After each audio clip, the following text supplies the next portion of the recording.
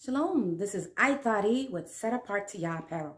I'm also the author of Primitive Sign Language, the etymology of ancient biblical Hebrew. This video is being posted on Set Apart to Yah Apparel because I'm going to model for you and show off this pants that I've been advertising on my website for women.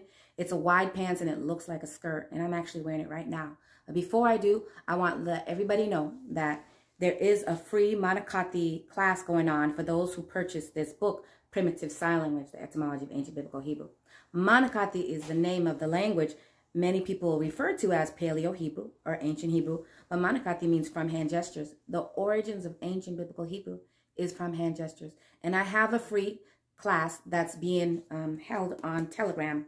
Telegram is a is kind of like a social platform, but it's different. It's different and they don't police the truth.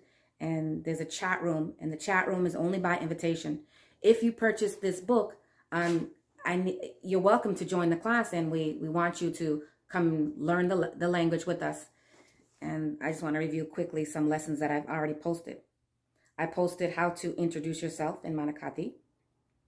I've posted information concerning um, your tribe, how to say people's, the names of all the tribes of, of Yisrael, which is Israel. I'm just quickly going through here the lessons that I've posted. How to introduce yourself. Let's see. Um, the meaning of the new moon, the meaning, um, why, why the symbols, what the symbols actually mean for the new moon. Let's see. And I posted um, some information concerning um, the, the letters, the Manakahthey symbols, how it sounds and how you pronounce it and and what the, the names of the symbols mean. Let's see. And I've, I've posted information on some hand gestures, Yah's name. And recently I posted concerning um, the word evening and morning. And many are not aware. Most people are not aware. If you have not joined this class, you don't even know that the so-called Hebrew word for evening and morning isn't evening and morning. It's actually sunrise and sunset. The only way you're going to know this information is by looking at the symbols. The symbols are indicating a sunrise and a sunset. And you're not going to find this information in the concordance. This is why I'm doing this free class, uh, you know, to answer questions and to let everybody know what's going on. Right now, I'm starting um, a lesson. It's a 31-day lesson on, on how to read Genesis chapter 1. We're going to review one verse a week, a day, one verse a day, and I'm going to break down each word, and I'm going to have the people who read this book, who, who are joining the class, to help me break down each word. Basically, tell me what the words mean. Uh, it's an interactive class. I'm not going to just throw information. I, I require participation.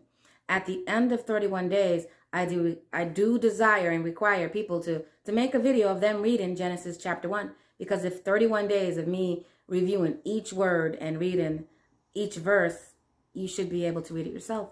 And so I want to inspire people to pick up their Manakahthey Torah, which I also make available on primitive sign language back.com backslash shop. You can get this book, and this book is not a translation. You have to read Manakahthey in order to understand.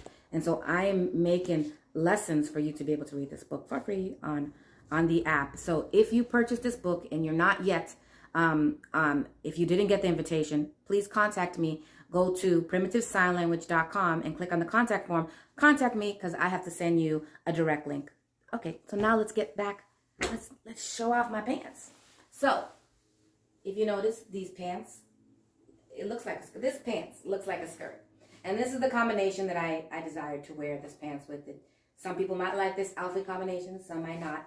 This pattern is called brown floral, and this top is the Sagala tunic and I just, I made a sash um, that doesn't, that goes with the pants, but it's not from the same material. And so the pants is very wide, as you can see, you know, it's very modest. It's more modest than a skirt. It looks like a skirt. Okay, and it's very roomy, and I just want to show you um, that it's pleated, okay, and there is an elastic back. Now, I'm not going to show you more than that. I'm going to show you my customer's pants. You can get these pants in many colors. You can get these pants in many colors. My, I'm going to mail this out today for that customer that, that has this. This is your pants. Okay, I want to show everybody before I mail it. See the pleats?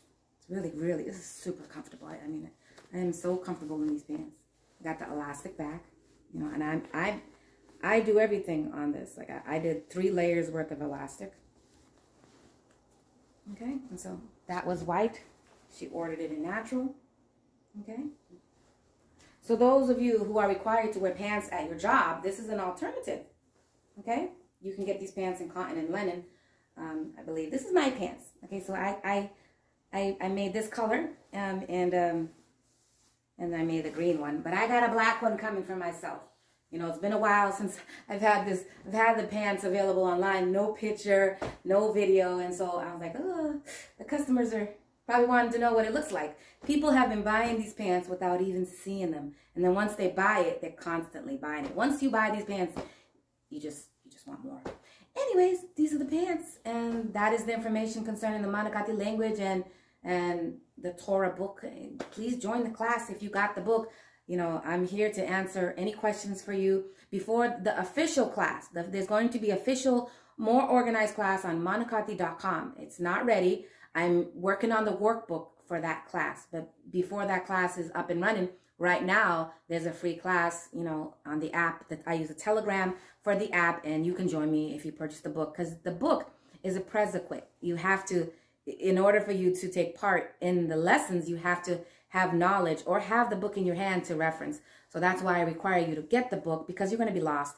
If you don't know um, what I'm talking about because you don't have the book and if you've never read the book, there's no point in you joining the class. That's why this um, the class is not going to be on YouTube. YouTube is not a class. YouTube is random videos. I require people to participate and that's the whole point of the class. So this video is to kill two birds with one stone. So, shalom.